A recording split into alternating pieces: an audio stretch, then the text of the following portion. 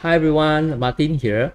This case study hopes to provide a brief insight about this uh, residential development as an illustration to demonstrate the application of Feng Shui principle. A more detailed disclaimer for this case study can be found in the description section of this video. In Feng Shui, the external environment plays an important role in determining the auspiciousness of the land uh, where the prosperous energy or qi resides. And this also affects the residents um, staying in the vicinity.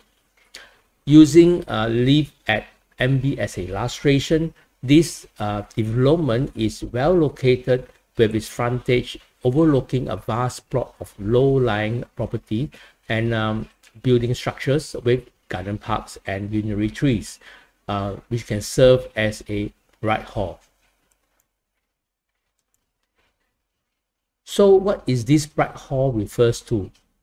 There is a Chinese saying, Meng Tong Long Mama Fu Kuai Qin Tin Ha. This can literally translated as if a vast open land is big enough to accommodate 10,000 of horses, then fortune and wealth uh, will be well known to the world.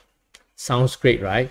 So bright hall is not about how bright a place is, but rather an area where energy or chi can gather.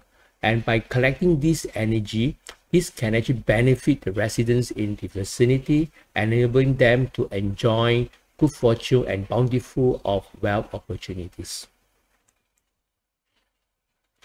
With the road junction of Mountbatten Road and Arthur Road at the, uh, the northwest of Live at MB, this can well serve as a good for, uh, feng shui feature, commonly known as the Qi Mouth, which further ascertain that the, the residents at Live at MB can potentially uh, blessed with uh, opportunities to grow their wealth, especially from real estate and uh, property related uh, industries.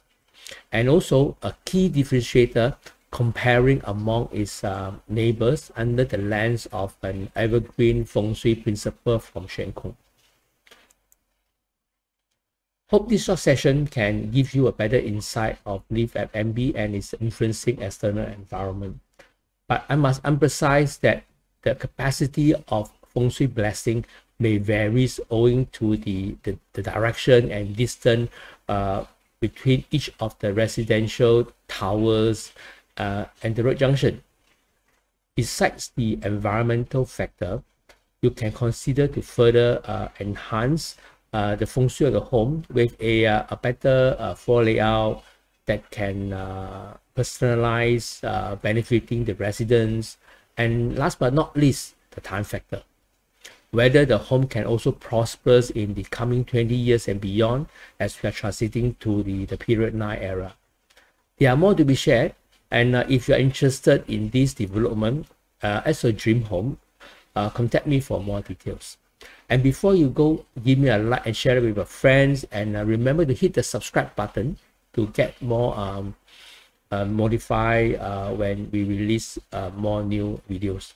Till then, thanks for watching. I'm Martin Ho, uh, signing out.